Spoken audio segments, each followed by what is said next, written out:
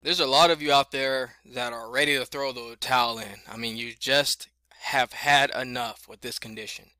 And it's almost seeming like it's not ever going to go away. It's just lasting for days, months, and there are some of you years. Well, I'm going to tell you when it comes to managing your stress levels and your mental health state, when it comes to eustachian tube dysfunction, there's a few things you can do.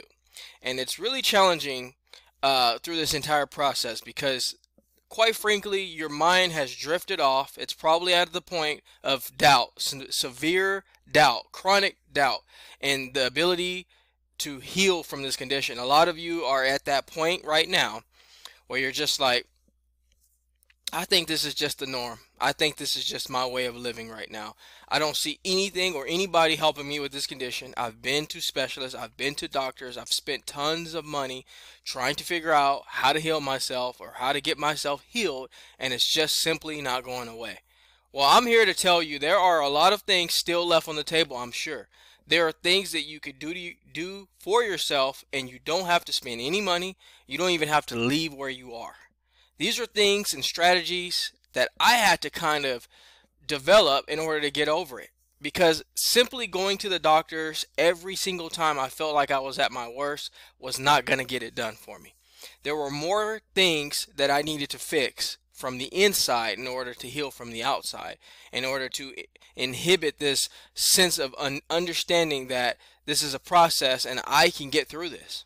Now, you all are at a point probably right now where you've tried dozens of things. What I'm finding about this condition is because it puts you in this state of desperation. You know, you're in this state of desperation. You're so you, a lot of you contain this this sense of eagerness to, and and why wouldn't you? But a lot of you are, that I've run across have this great, great skill set of eagerness to not give up on finding the solution, finding the help and this is what ultimately I started to lose slowly. And I can and I feel good knowing a lot of you have already developed your uh, expert A plus skills of not giving up. You are trying to still push the envelope and trying to reach out to the ex experts. You're joining groups. You're being very instrumental. And this is the things that I lacked. I didn't join one group when I had this condition. I didn't think to even go on Facebook or somewhere online and join a group to be able to engage with others, to find a sense of understanding that way, my mind will start to heal slowly because I know I'm not alone and I know there's an ending. Hearing other people's stories and success stories of how they got over and how they started feeling better and how they're doing well now would would have ultimately gave me more encouragement, more it probably would have not had been 3 years. I could tell you that. It ended up being 3 years for me because I think two of those years I was being negligent a little. Yes, I was going to the doctor's office. Yes, I was getting checked out, and I was doing these things very, very uh, repetitiously. But I think there were things that I were that I was lacking, and that's why this video is going to be very valuable to a lot of you. Because in this video, I'm going to explain how your mental health and your stress levels are far greater than anything you're probably doing. If you could just focus on those two those two aspects, you're going to start healing much faster than if you took nasal spray, most likely, or if you did some kind of ear procedure, uh, balloon dilation, or some kind of ear procedure, or something that's going to uh, give you that false hope that it's going to go away permanently, and it really doesn't. It just takes a lot of your money away, a lot of your time, and then it gives you that false hope. But there are a couple things when it comes to maintaining your stress levels and mental health levels. Is there's th there's a couple things. The first thing that I did on the last year of my healing, the last year of me finding a solution finally, uh, was that I started to take myself out of the concern. I started to take my own problems out of the out of my focal point. Let me give you a little bit of an example. During the course of me going through this problem, I started doing things that were going to help me forget about me and put more energy into others. I started do, uh, doing charities at my church. I started doing um, donations any to anywhere I could. At my job, where I worked, I worked at a, a, hospital, so there were a lot of donations and a lot of charities where I could get my hands involved in those things. And I was getting myself involved in helping others however I could, locally or within my where I work. So it was very easy for me because these things were starting to come to my doorstep. Some of them were coming to my doorstep, and I was starting to realize, you know what, I'm going to do that. I'm doing that. And then after the first couple of times, I said, you know what, I'm going to start looking for this stuff. And I started going through my church. What can I do to help? Can I do this? Can I do that? And then one of my family members had had an issue, a medical issue, and I was putting my energy into helping that family member get over what they were dealing with. So doing these things, doing what I what I just told you, it actually elevated my sense of mental worth. It gave me a perspective to understand that I'm needed and I can make a difference. What it did was lower my my focal point of what I was dealing with and, high, and, and heightened my ability to make a difference. And ultimately, I started paying less attention than what I needed and more attention than what the world and what others needed. And I started to forget about my symptoms. And I started to ignore them because I have a purpose now. You're that parent or guardian or whoever you're taking care of or someone you're in charge or someone you're uh, in charge to deal with you know anyone it could be it could be a guardian you could be a parent someone that you're responsible to deal to take care of you're going no matter if you're sick and i've seen parents do this you could be sick and your and your kids need these things they need this before practice they need that you're doing all this stuff and you're sick.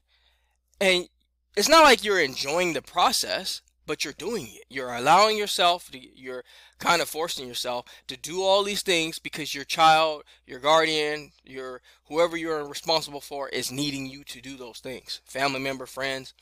And you're putting them before you and I realize when you do that, when you do that with intent, intent intentively, you start to diminish your thoughts of what you're struggling and what you're lacking. And ultimately, what it does is create this energy and this force around that starts to almost say, well, you're living your purpose of helping others. And all of these things you're feeling starts to completely just let off of you.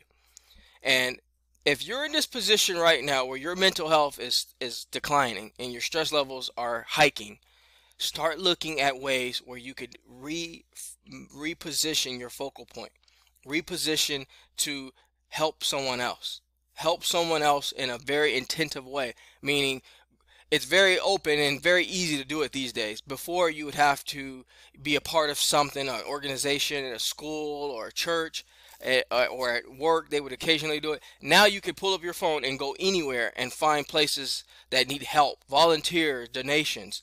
These are things that you can do online. You can pull up your app. There's apps, there's local uh, home apps that you can be a part of, like Nextdoor, and apps online through LinkedIn and places like that, where you can literally pull your phone up, put volunteer work or donation work, and you can start getting involved. This was a tactic what I mean by tactic is that you're doing it you're doing it selfishly but unselfishly because the person needs you. They need you need they need the help. You're doing it not only to to enlighten yourself in hopes that this pays off because yes, you want to feel better. When a person helps somebody out, they might not necessarily want anything in return financially or supportively. They want that they want that high of being able to know that they made a difference in someone's life. And that is why i said selfishly because that piece of of reaction what you're doing is to me is far more rewarding than someone turning around and giving it back to me later. The the fact that i was able to redirect this person into a way of good and re recalibrate them into the good side or help them off that that you know that ditch they felt they have fallen into gives me more back than they could ever give me, you know. And so I realized with eustachian tube dysfunction, tinnitus, things in that nature, you are when it when it's seeped into the mental aspect side of things, and it's and it's definitely there because you know when it's in when it's when it has reached the end zone of the of the mind itself, and you know when it's there there are more there there are more things that are needed other than what you can provide to your body on the outside. Yes, it's good to have good diet, nutrition, good healthy habits, exercise, uh, good sleep cycle, sleep patterns. But if you're in the middle of the day and you find yourself at hope, you, that you need hope, and you're finding yourself hopeless, there are things that you that you need to fulfill yourself in order to get through what you're dealing with when on the mental aspect side. And I could tell you the biggest thing is refocusing wh- why you're doing what you're doing or what your purpose is in this in this life and start helping someone or a group or contributing you will see your symptoms start to fade. I promise you it will fade because each day you'll say, wait a minute, I have to go here. I have this to do. I have to go help that person. I have to go donate to this person or I have to go put my time in there.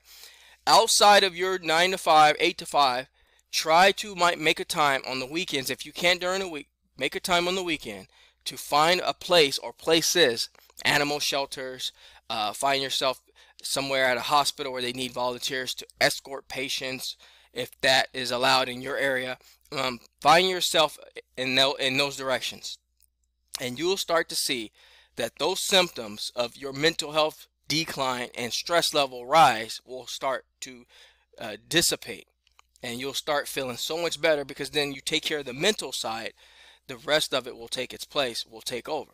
That is one big large piece of information of what could help you get over this thing when it has reached the level of the mental health side of things chronically. It's there now. There though that is going to be a, a very extreme vital piece of information. And so that is something that I want to tell all of you as what I did again I, I, I did lots of charities and donations and things uh, that will never be publicized or never be posted online by me because it's simply the the moment of taking it in for myself, putting it in here. That's what gives me the desire to do it, not to film it and things like that. So I want all of you to know if that if if you're in that place right now where it just feels dark, it feels empty, it feels broken, try doing that. Okay? There is nothing wrong with seeking the seeking your way into something, seeking that that that need for others in order to help yourself feel better. There's nothing wrong with that because you don't want them to give up anything of theirs. You just want that you're paying for the feeling. So they are not losing anything. They're gaining and you're gaining. So it's a win-win situation. I hope this video was very helpful for you. If it was, please take time to subscribe to the channel. We are growing every single day. I'm very happy to have been able to reach many people out here. Uh, continuously trying to inspire uh, inspire others out there to do the best they can. Uh, and if you have seen people struggling with this, and it's not maybe it's not you, maybe it's somebody else that you know, please share this video for them because I'm sure they can get a lot of information out of it. I have over 500 videos about eustachian tube dysfunction on this channel and I know a lot of that could help a lot of people out there, not just for the condition of the ears, but on the mental health side of things. There's a lot of good details there. So I'm going to go ahead and step out of the Jaye Wellness Studio and leave you in good hands with this video. Like anything else, folks, we are here to simply go back to the basics. Take care, everybody.